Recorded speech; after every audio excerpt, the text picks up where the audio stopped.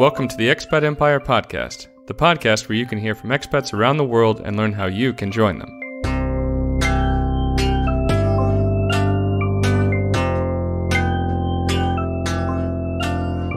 Hi, everyone. Thanks for joining us today for the 18th episode of the Expat Empire Podcast.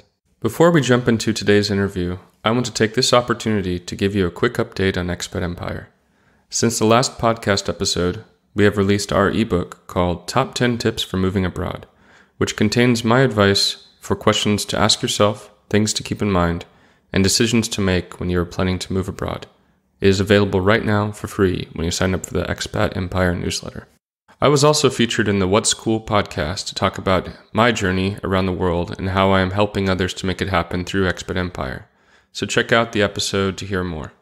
We also have the sixth Expat Empire Porto meetup event next week on Tuesday, October 20th, so if you happen to be in Porto that night, we hope to see you there.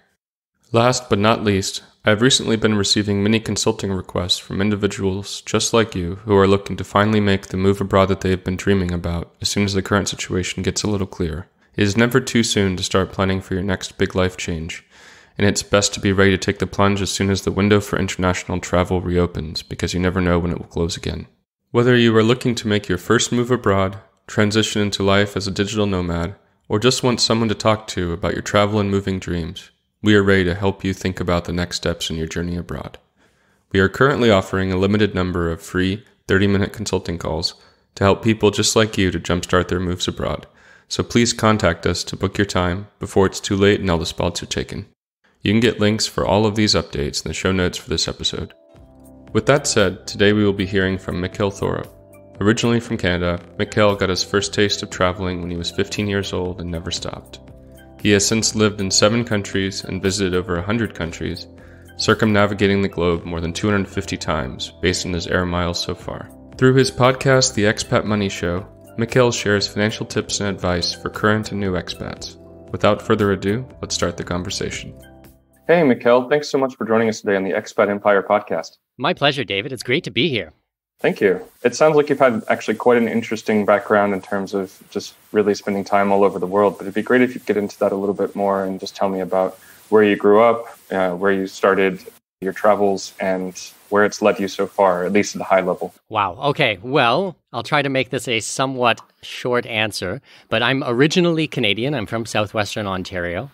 I left as a teenager. And I just ch- celebrated my 36th birthday. So you can do the math. That's about 20 years overseas.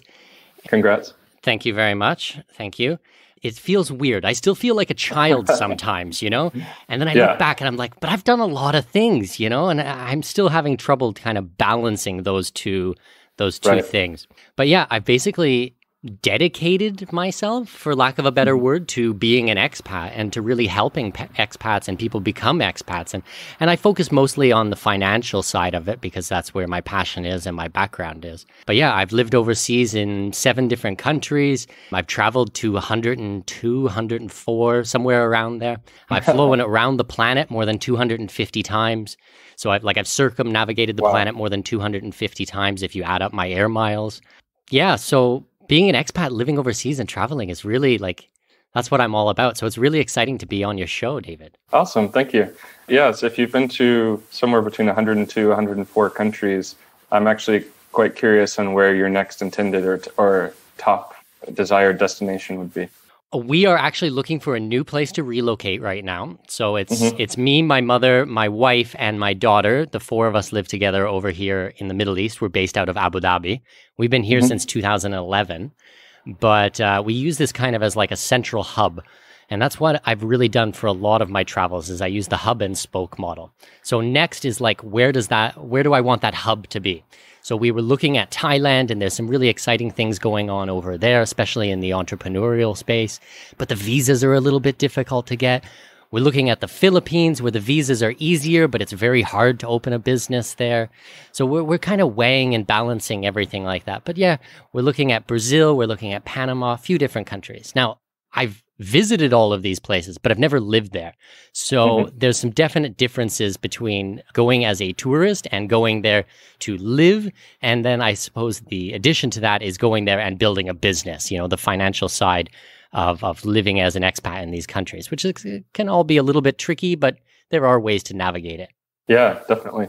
So you started your sort of travel expat career, it sounds like around 15 years old. What was the first thing that kind of got you started there and where did you first move to and, and how did you make it all work? Yeah, so I started moving, I started traveling overseas uh, when I was on Team Canada for martial arts. Martial arts was my life. Unfortunately, now I've got a back injury. I don't mm. do anything these days, but uh, back in the day, that was everything to me. And I actually competed in the Worlds in Ireland. So I went with my father to Ireland, England, and Wales, and we were gone for about a month. And after that first trip when I was a teenager, I was like, oh my God, this is amazing. I love traveling. So I saved up a little bit of money and I left home and I actually went over to Western Europe. So I think I was in, flew into the UK, then it was like England, France, Belgium, Netherlands, flew down to Spain, and then like basically ran out of money. So went down mm-hmm. to Morocco, and that was my first time ever being in first of all, a Muslim country or a developed country or anything like that, and started traveling around there. And that would have been around 2001 or 2002, I suppose, 2001 mm-hmm. maybe, and spent two months there. And we were like out in the Sahara Desert. We were in the in the mountains on the coast. Like it's just such a stunning country. And uh, yeah, since then, man, I've been hooked, and I just have never stopped. just keep going yeah. and going and going. How has it been actually to keep it going for so long? In my personal experience, I've done some longer trips, but only a couple months on my end. So totally different amount of time than what you're talking about. But just keeping up the pace, uh, how do you manage it over time? How does it, you know, stay fresh and interesting, and at the same time, you know, allow you to maybe build some friendships and not something where you're just getting to know people for a night or two? Yeah, just keep the passion. So basically, I was a backpacker. You know, I had my tent and my rucksack and a jar of peanut butter, and I would mm-hmm. do hitchhiking and things like that. And that is awesome. It's very interesting, but it is very tiring. Like, it's not sustainable. I did 18 months of hitchhiking through Central and South America. That was great when I was 22 or something like that, you know. But mm-hmm. now with uh, you know, my daughter's almost 3 years old and stuff. That's certainly not how we travel anymore. Mm. So these days like I said, we do the hub and spoke. So like for example, when I lived in Australia, I lived in Melbourne. I was there for 3 years. During that time I visited all of Australia, so we were up in the west coast, up to Sydney. We went down to Tasmania, the center. We um, we went over to Fiji. I was in Fiji 5 times. Tonga, mm. Vanuatu. Uh, we even touched on Asia and stuff. And then after that, I moved to Singapore. And then from Singapore, I went to Cambodia and Malaysia and all these cool countries out there.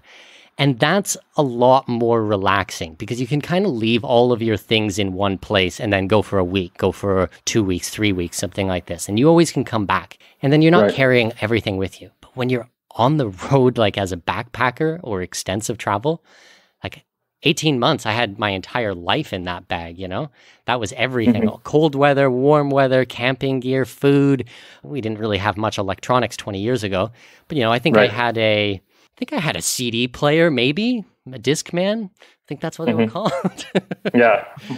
Yeah. The world's changed a little bit. Yeah. oh, absolutely. Like now, okay, I've got my phone, which has all my music, which is my computer as well. I run half my business from my, you know, Galaxy Note 8.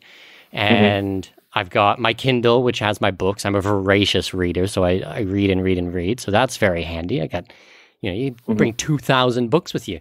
I used to right. bring in a stack of 20 books while I was backpacking and didn't want to throw any of them out because I had made, you know, little notes in the sides and stuff, highlighted and, and folded papers and pages and stuff.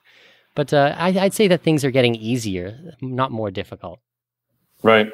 And how did you pick the first place that you decided to maybe, as you could say, put in put down some roots, even though obviously you've continued to move around as uh, using the hub and spoke model. But how did you pick those places and, and the first one in particular? Okay, so let's think back. So my second trip was by myself. That was Europe and North Africa for five months. When I came back from that, man, I was broke. I had no money at all. So I went back. I was, I want to say like 17 or 18 or something like that. I went back. I was at my dad's house for like two weeks. And I was like, oh, I don't like right. this anymore. yeah, I got to get back on the road, right? Got to get back on the road. So I moved out to Western Canada. I have a sister who lives in Calgary. So I spent a week at her place. She drove me out to the ski resorts basically dropped me off, found a, I don't know if it was a youth hostel to start or what it was, and then just started looking for jobs in the ski resorts and things like that. And then from mm-hmm. there was able to save the good chunk of change, which has allowed me to go down through Central and South America. And at the end of that, we did, my brother came over from Canada and we were in New Zealand for 12 months. And oh, wow. It was just pretty organic, you know. Like, I don't think mm-hmm. at 23 years old or 22 years old, I had much of a plan, you know. Everything just kind of fell together. And it's like, you meet some pretty girls, and the girls are headed over here, and they're like, You want to come? You're like, All right, let's go. Sure. Right. I was typical backpacker drinking, you know I was not very mature at the time, but I had a fantastic experience and it definitely helped me to grow up very quickly. Mm-hmm.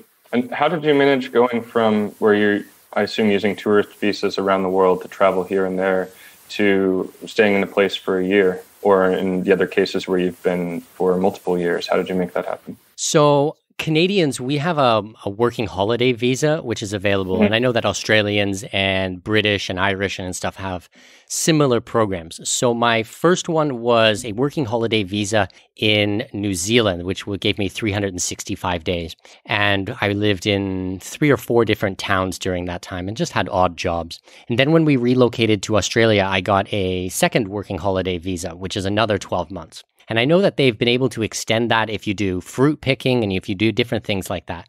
But I went down a different route. So the company mm-hmm. I worked with at the time offered me permanent residency through what was called a 457 visa. It was like a skilled migrant worker visa. And basically, we just had to prove that an Australian could not do the same work that I could do. So, because mm-hmm. of special, not education, but special experience in my field, um, we were able to prove this. Now, I will preface it this saying that this visa was available when I was there in 2005 or 2006. So I'm not really up to date today with the immigration process for Australia. But I would be an Australian citizen right now if I hadn't met a girl and moved to Singapore to be with her. Oh, okay. I'd be very happy in, in Australia. I think it's just such an amazing country and they've just got so much to offer there. You know, David, like it's just it's yeah, amazing. It's an amazing place. Uh, I would also like the opportunity to live there, and uh, yeah, it sounds like you've gotten to see a lot more of it than I have. So I'll have to make my trip back soon. Oh, you absolutely have to. It's just like every nook and cranny in Australia is just so interesting, and it's so different from what we experience in North America. Although it is an English speaking Commonwealth country and there's a lot of similarities with Canada, just the natural beauty and the geography and the way that things are set up is just so different. But it, they got it figured out. As, as far as I'm concerned, it's just a great place. Yeah, definitely. So, as you were traveling around the world at different points and you get to a brand new city, is there anything in particular that you try to do to get acquainted with that city or just kind of get set up and make the most of your time there? I am the biggest slacker when it comes to stuff like this. Like, first of all, I don't do any research before I go. Like, it's as minimal as possible. Usually, I will just show up and figure things out as I go. Now, with a, a wife and a child, and my mother who takes care of my child, who uh, cares for my daughter, I have to be a little bit more careful now. But like I said, I've been in Abu Dhabi for going on eight years now. Mm-hmm. So what happened when I arrived here is very different now when I'm leaving here, if that makes sense. Sure. Yep. Okay, let's put things in perspective. So, right now we're looking at Panama. It's top of the list right now. They have uh, what's called the Friendly Nations visa, which is basically you make an investment into the country, mm, small amounts, you know, 5,000, 10,000. You open a company which holds the investment, so an apartment or some land or a business or something like that. You get a local bank account, and there's, there's several other things that you need to comply with, and that will give you permanent residency. After five years of holding permanent residency and proof that you are actually migrating to Panama, they will give you citizenship. Now there is more paperwork that has to be involved and and it's a can be an application process that might last another 12 to 24 months afterwards and you have to get approved and everything like that. But it really is one of the easiest places in the world to move to as an expat. And you know, people are doing it from all walks of life. I think there's something like 40 or 42 countries that are eligible for the Friendly Nations visa. So if cool. you're an American retiree, your social security check is going to cover what they need to see for income and and you can move down there. So I do research on things like that. And I might do research on, you know, where we're going to stay for the first week or two for an Airbnb. Right. But right. the rest of it, we'll explore and experience as a family. We'll see, you know, what's a cool area? What where do we want to live and you know, luckily I have friends in most places in the world by now. So it's like mm-hmm. a good buddy of mine, he's the VP of a bank in the Caribbean and he's just relocated to Panama. So he said, Come on down, you know, I got beers in the fridge. like we'll figure things out when you get down here. It's like, all right, Sounds that's good, good, enough for me. Yeah. yeah.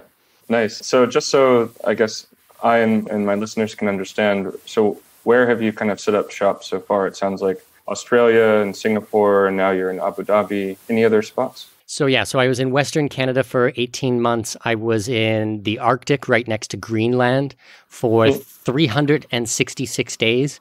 I wanted to do one year. The, year. the day after my year was up, I was gone. It's a beautiful place of the world for natural beauty, but right. the situation there is very messy. So a lot of mm. alcoholism, drug abuse. It's a really sad situation. Mm. So I worked at a, uh, at a crisis line. I volunteered, I should say, at a crisis line, and some of the mm-hmm. stories we would hear uh, from the Inuit communities up there were really terrible. Yeah, I can imagine. So I was there for a year. Um, where else have I been? I don't know. A couple other places. I've been in Guatemala for six months. I was in the States for several months as well. And mm-hmm. But yeah, now I think what we're going to do is maybe spend part of the year between Panama and the other part somewhere in Asia. So, like I mentioned, hmm. we're looking at Thailand, at the Philippines, Korea. My best friend has a business in Korea in medical tourism. So mm-hmm. he would like us close there. He's the godfather to my daughter, so we might move over there. You know, it's nice.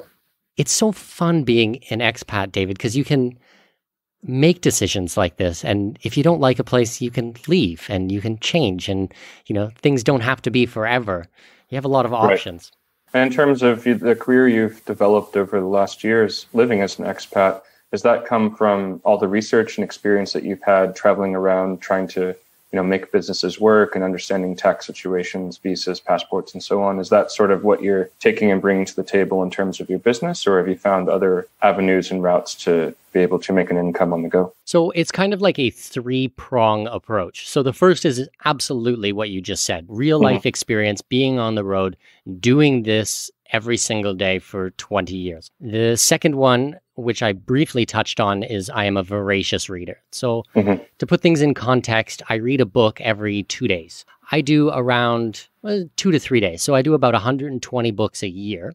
Mm-hmm. And they're all, you know, economics, business, law, these types of things. You know, I'm not saying I read 120 Tom Clancy books a year. right. like I work hard with that.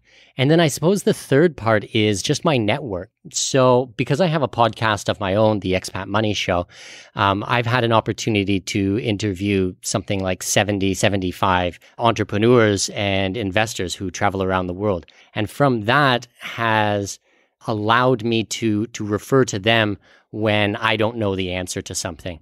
So a lot of mm-hmm. them have become really really good friends and I visit with I'm also members of different mastermind groups. Like, for example, last year I was in Chicago four times for a mastermind event that, you know, cost me 15,000 US to be a member, plus flights back and forth and hotels and food and everything. So that was a 30, $40,000 commitment on my end to to attend these masterminds. And it was 18 of us business owners in a room who are all doing you know, good numbers and we help each other with our businesses. And networks like that are just so, so valuable. These are things like you can't just go and Google search the answer to some of this stuff, like on building a business or the marketing or the sales, or, you know, you need to talk to someone who's actually done it. Mm-hmm. Yeah, absolutely. I guess jumping back a bit, because I still had a question I realized from one of the previous things that we talked about. So you mentioned your potential plan in the future to move to Panama and get permanent residence and eventual, eventual citizenship there. Have you made it a goal to try to get citizenship in multiple places, or is what's your kind of thinking around that and your planning as far as uh, having that be a potential future goal? Yeah, absolutely. So we follow, and I don't know how much your listeners are familiar with it, but it's called the PT theory. And PT would stand for permanent tourist or previous taxpayer. This is kind mm-hmm. of the outline of what we follow. So, Panama is a really fantastic country because as a resident there, you are only paying taxes on money that is earned inside the country. So even though you have a right to work there, so if you worked, uh, you know, as a hairdresser, or you worked in the grocery store, or you worked in an executive job, I don't know what your fields, what people's fields are, but mm-hmm if you have that, then you're going to pay local taxes. But if you have an online business like mine, like I do coaching and consulting for helping people to to mitigate their taxes in a in a you know legal manner, mm-hmm. I'm not paying tax on that. So I'm a Canadian citizen who is a non-resident of Canada. Therefore, I don't pay taxes there. I would be a resident of Panama, but I have an online business, and my business will be set up, or is set up, I should say, in a Caribbean nation. So I have an offshore structure that houses my business where my money and income come into that. And then as for actual living, we might live in Korea, for example, where they have a six month tourist visa for Canadians and English and several and many other na- nationalities. So, this is kind of the outline of how the PT theory works. Now, Panama will lead to citizenship if I can prove that I really want to live there, that I want to migrate there. So things like that might be a gym membership, uh, a rental agreement, how much time you spend in the country. Are you contributing to the economy? Things like this. There are a couple of other countries that we're looking at, like Brazil has a really interesting program. If you give birth in Brazil, the child automatically becomes a Brazilian citizen. And mm-hmm. if you are the parent or guardian of a Brazilian citizen, you can apply for permanent residency and citizenship. And that only takes 12 months. So nice. you can actually become a Brazilian citizen in a year. Now, you have to show a certain knowledge of the Brazilian country and history. You need to be able to speak at least basic Portuguese. I speak Spanish as a second language, so I'm kind of hoping that I. that I, that will be transferable and I will be able to learn Portuguese. But I, I believe sure. if I if I put my head down and uh, and study, that'll be okay. Is that the only other foreign language that you speak right now, Spanish? So I speak a good amount of Mandarin. My wife is from mainland China, which mm-hmm. uh, kind of throws, uh, makes everything we do with travel a little bit more challenging. I can imagine. Yeah, Chinese, they're very strict with the countries. It is opening up now. Every year, there are more countries she can travel to visa free. Like, we've got a trip planned to Serbia together as a family in a couple of months. In Serbia, she can go to visa free. So I've studied a good amount of Mandarin so that I can speak to my mother and father in law. Also, my mm-hmm. daughter speaks fluent Mandarin and understands everything. But um, I wouldn't put myself at fluent, not yet at least. Just on the point of your daughter, uh, she's still obviously quite young, but as you think about future schooling and so on, are you thinking more homeschooled route or finding a base that utilizing that base country and in the hub and spoke model to provide schooling there? Do you just have any general thoughts about how you might make that work? Yeah, this is a great question because I am very, very focused right now on the schooling aspect and what we're going to do. So, our initial instinct was just to do homeschooling. And the way that we look at homeschooling is following a proper curriculum that is set out by somebody, could be a government, could be a private agent, uh, private network, things like this. But you're following a, a, a set schedule, you know, of and material and test work and things like that. And this is what we thought we were going to do. But actually, as I started reading and researching and understanding more, there's opportunities like unschooling and world schooling. The difference is being uh, that they're more interest based learning. So she has an mm-hmm. affinity towards, uh, I don't know, like right now, okay, she's two and a half. She's obsessed with ballet. Every day, ballerina, she, she's dancing and she's singing and it's all dance, mm-hmm. dance, dance, dance. She wants to watch this stuff and we buy her dresses that look like that and toys that have like that. And soon she'll be in dance lessons. If that's what her passion is in, then I'm not going to try to teach her trigonometry or things like this. Like it doesn't make sense, you know? As long as right. she knows how to read, write, and spell and understands arithmetic, the majority of the other things can be interest based learning. And when she knows how to do arithmetic and read, write, and spell, she can teach herself pretty much everything. And we can be there to facilitate that, to guide her, as opposed mm-hmm. to someone being like, okay, this is what you must learn, and like cramming, forcing down information into her right. throat all day long for seven hours, you know? Mm-hmm. I am totally against. I'm really outspoken and against government run schools and mandatory and compulsory schooling. I know and understand the detriment and the damage that this can do on a young mind, and uh, and I just don't believe in it at all. But I think something like having a project, you know, okay, we want to go as a family and visit Greece for example. So maybe a mm-hmm. couple months leading up to that, we'll research Greek food and we'll eat Greek food at the house. We'll learn a little bit of the Greek language and we'll learn some history. And if we want to do some maths, maybe we'll learn about Roman numerals and how the Greeks used this early type of, of numeral systems. And there's different ways that you could do things. If you're talking about uh, visiting a place, opposed to just learning about history in an abstract way where it's rote memorization and your dates and facts and figures. And let's do things holistically and really make it all encompassing so that you have a good understanding of it. And I believe that when you actually visit a place afterwards, you'll have a much deeper experience and, and you'll understand and be able to connect with the people there. Because I think that's right. the important thing. So, going back to your travels a bit, you've been to over 100 countries. I know that there's probably too many stories to talk about, so I won't go down that route. But are there any particularly favorite countries that stand out in your mind that you've gone back to multiple times that just have a special place in your heart? Yes. if you can pull through the history books of, of your travel. Okay, so let's think for a second. For countries that I go back to multiple times, I'm in love with Germany. I think it's just such a stunning country. I go over and over again every year, specifically Bavaria. Mm-hmm. I have some business there, so I, I return often. I'm glad to hear it because I'm based in Berlin. So. Are you really? Oh my God, yeah. it's such an amazing country. Yeah. Everything except for the taxes. The taxes I got a bit of a problem mm. with there, but really the food, the people, the culture, it's just unbelievable. And I'm in love with Germany. I've been to South Korea. I definitely more than 60 times, maybe wow. even 70 times. I'm not sure exactly. I've been more than 60 times for sure. Mm. Like I said, my best friend from back home, he's been over there for about 15 years. So he's the godfather to my daughter. We go back and forth visiting each other. Uh, we do a lot of business together as well. So I go back there many, many times. As for just downright interesting countries, I've been to Iran. I've only been once, but so this is a little bit different, but it is so not what the rest of the world think it is. You know, mm. it has like a really bad reputation, axis of evil and, you know, oppression and things. And I always try to separate between government and people, you know, government Absolutely. and country, like deep down in my soul. So, Iran, I didn't go there for political reasons.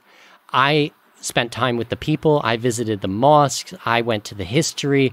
Um, I ate the food and had conversations with the locals and observed life there. This was unbelievable. Like, my God, David, so stunning and so different than the Middle East. You think, okay, Muslim mm-hmm. country, maybe they're quite similar. No, they're so different.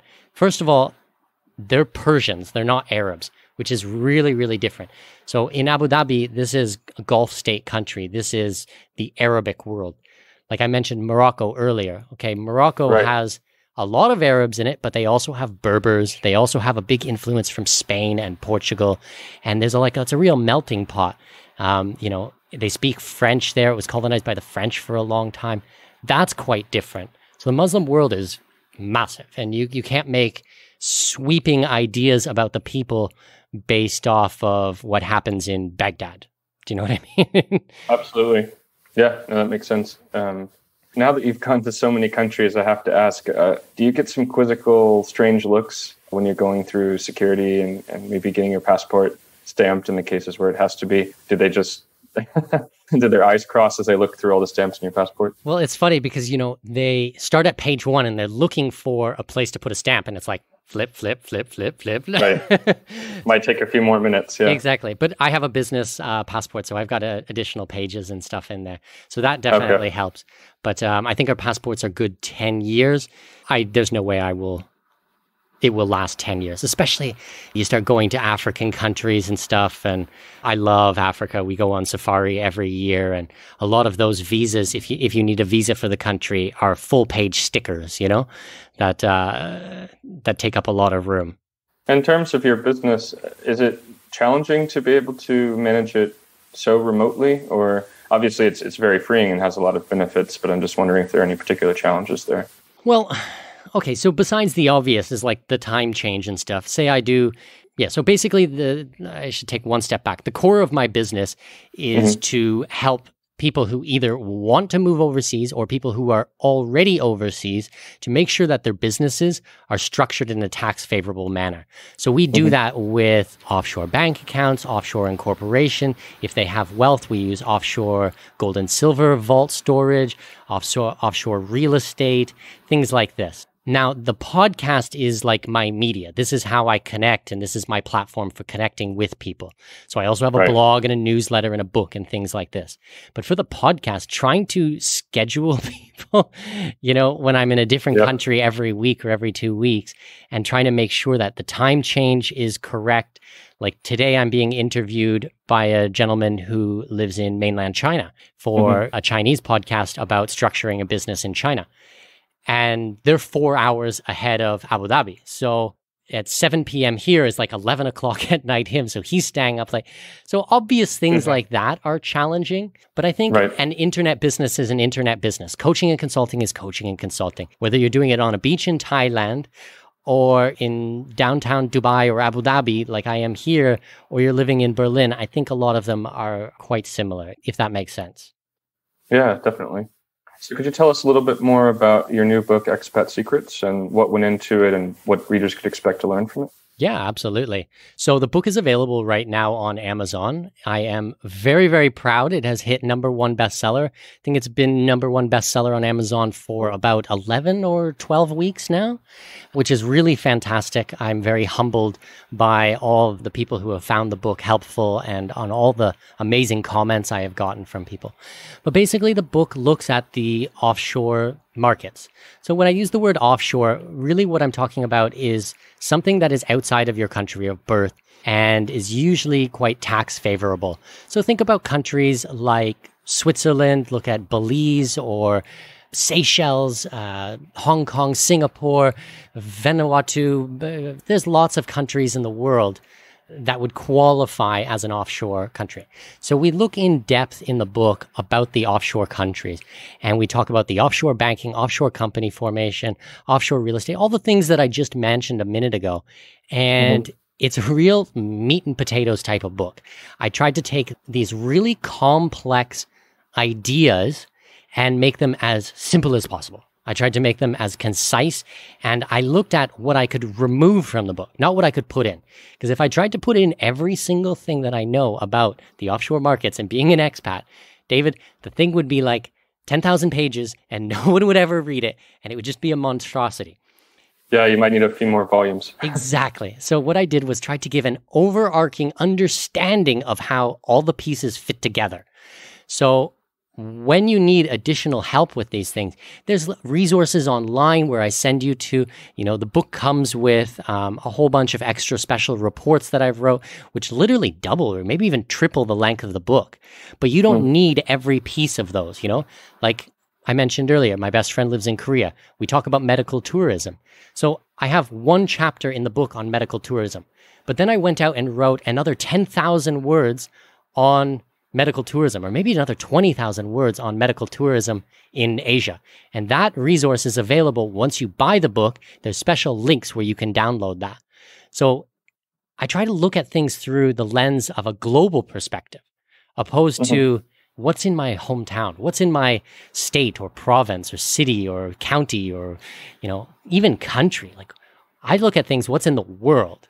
So using medical tourism as an example, when my mom wanted to get, when she needed to get eye surgery, I didn't send her in Canada or her hometown or even here in the UAE. I looked at, okay, where are the best medical facilities in the world?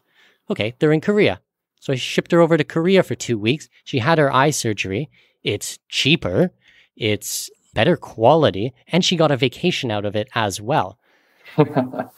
Doesn't get much better than that. It yeah. doesn't get much better than that. So these are the types of things that I talk about in the book. But in the book, I just highlight okay, what is medical tourism? Where are the best places? How does it work? For the in depth stuff, I have special reports written on it, you know? And that way, okay. I feel like I've got the best of both worlds. And like I said, the book is available on Amazon right now. It's, I don't know, 16 bucks or 18 bucks or something like that. I've had people who read it and were like, I've been searching for this information for two years reading mm-hmm. online. And all of a sudden, it's all in one place for like, for nothing, you know? what it yeah. would cost you to go out for lunch. Like it's it's peanuts, but um, yeah, like I said, the response has been fantastic. Yeah, that's awesome, and I definitely can understand and, and echo the sentiment that you can search around online for you know it ends up being outdated information that's specific to one individual and doesn't even give you that comprehensive overview. So to have one place that people can look for all that information in a handy package and also with links to even more content sounds like a pretty good deal to me. Yeah, and if I've had a podcast episode or a guest who explains this stuff better than I have or could, I just reference the link to this podcast, you know, to mm-hmm. this information. So this gives you the the framework for how everything works as an expat, how the offshore market fits together, and how your finances and your taxes all fit into place so that you do things right the first time. Let me tell you, if you make a mistake with some of this stuff, like we're talking tens of thousands of dollars in difference. Like, mm-hmm. okay, so if you're an American expat and you live overseas and you're going for the foreign earned income exclusion and you screw it up, man, right? You know, like that could be twenty thousand dollars, thirty thousand dollars that you're not going to save. Like you're going to be owing the IRS. It could be hundred and four thousand dollars worth of deductions that you lose right. out on. So this is important stuff, man.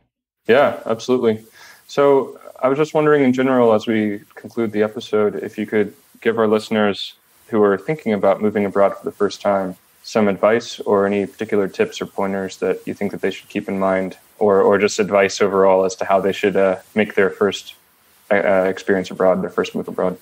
Well, number one is just get out there and start exploring. Like if you are sitting in an office right now and you're back in North America or Europe or something like that, and you're thinking about moving overseas, thinking about leaving your job and, and trying to figure out how it's all going to put together, just go for it. Just jump in head first.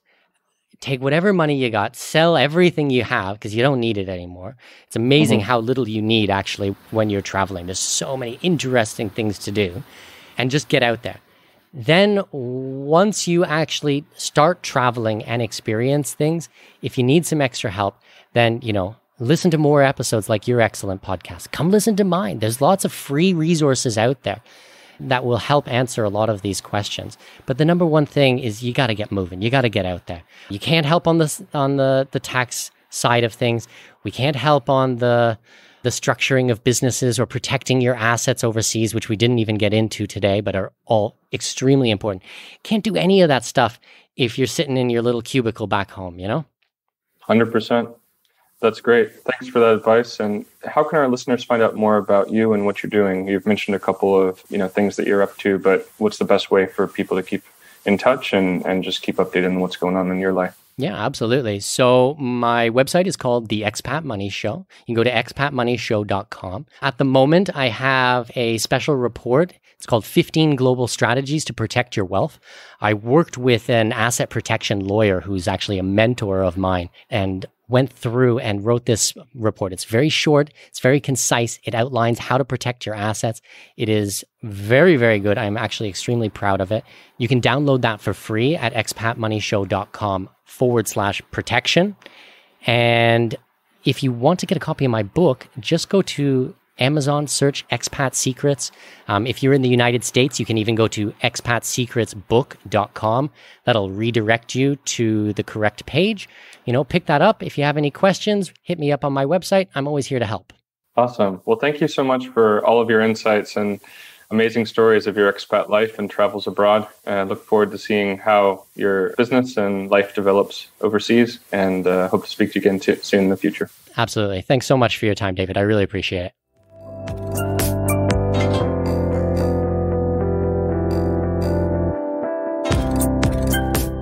Thanks to Mikkel for sharing his story with us. You can find out more about his podcast at expatmoneyshow.com. The full transcript for this episode is at expatempire.com. Music on this episode was produced by Eli Hermit. Please check him out on Bandcamp and Spotify. If you enjoyed today's episode, please take a minute to give us a five star review on iTunes or wherever you listen to your podcasts. It helps new listeners find us and lets us know that we are putting out content that you appreciate.